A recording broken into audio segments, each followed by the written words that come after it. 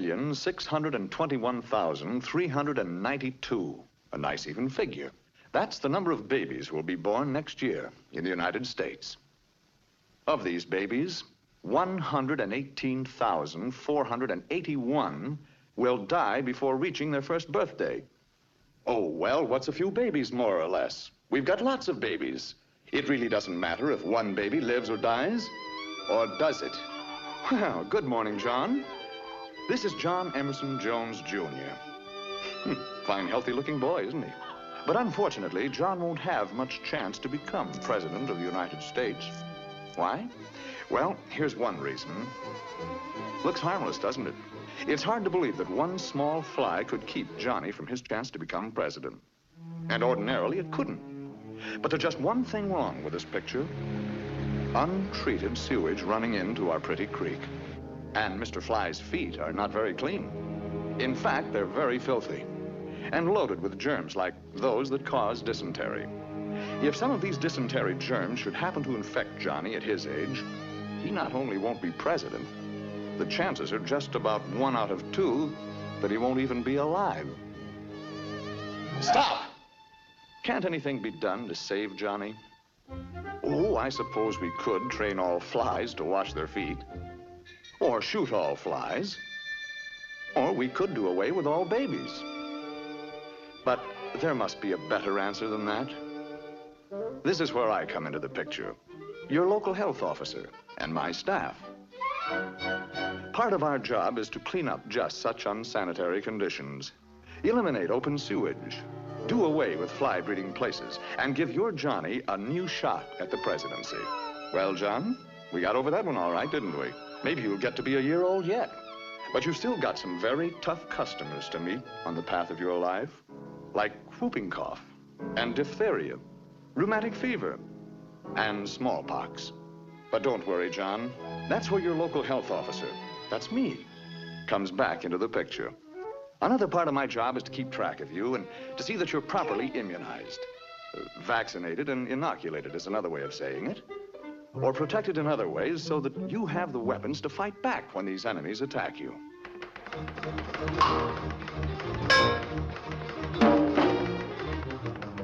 You see, Johnny, most immunizations should be completed before you become one year old. Uh, does that surprise you? Well, well. Look who's in the fourth grade. Hiya, John. Shh. Oh, I'm sorry. Um, mind if we look around?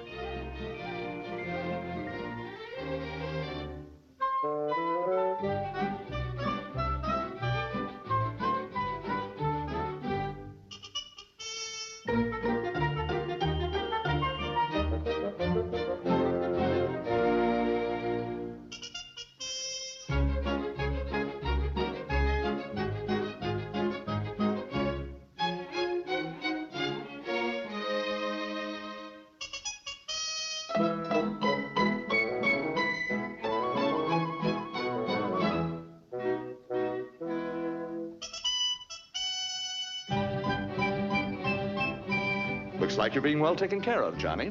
It... Shh. Oh, pardon me. Grown up now, eh, John? Er, um, Mr. Jones? Hey, wake up. You know her. That's Mary. Mary Lawrence. Changed since high school, hasn't she? For the better. Congratulations.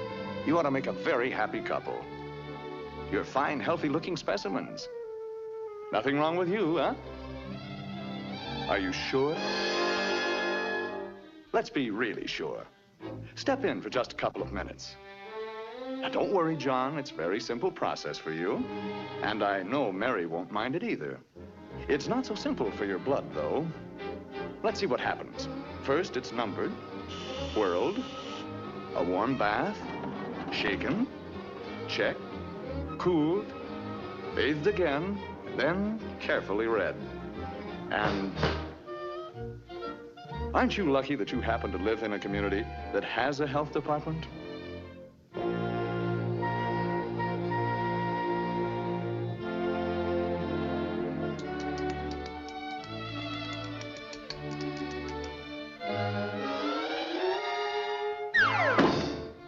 Anything we can do for you now, John?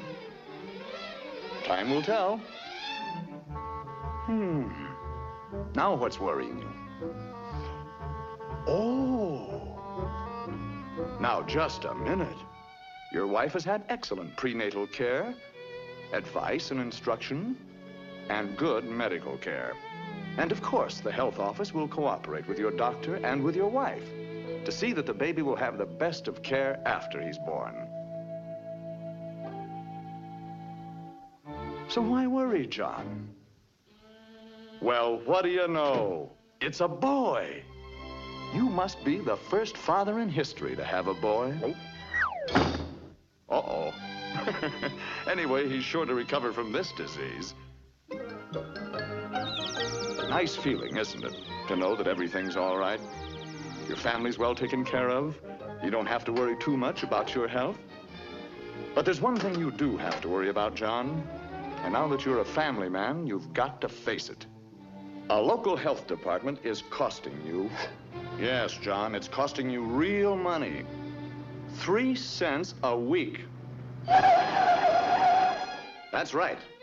Three cents a week per person can provide basic public health services in your community. Not much, is it? Well, John, you've been leading a normal, happy, married life.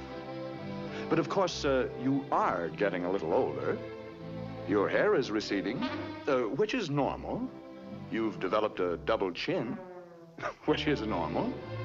Uh, you've also acquired a, a paunch, which is uh, a little abnormal. But you're still a fine-looking man, even if a little mild exercise wouldn't hurt you. Yes, sir. Nothing like a little exercise, especially with the kids. Makes you feel so young. I got it! I got it! I... He got it. A little mild exercise, John. Let's take a look at that body of yours and perhaps we can point out why violent exercise isn't good for you. There's the old ticker pumping away. So many miles of pipe. Now then, that uh, bay window appears, and the rest of you spreads a bit too. More skin area, more pounds of flesh, and more pipe needed to cover the ground. More work, too, for your heart. And remember, John, that heart isn't getting any younger. So let's get more rest and take it a bit easier. Oh, by the way, it uh, might be well to cut down on the food a little. Hey, hey! That goes for you too, Mrs. Jones.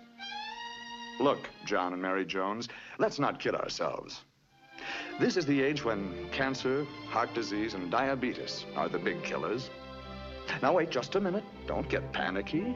Nobody said you have these diseases. With a few simple precautions, you'll have very little to worry about. Periodic checkups by your own doctor are the most important thing. Don't wait until you're sick. Always remember, early diagnosis and early treatment are the best weapons with which to fight cancer, diabetes, and heart disease.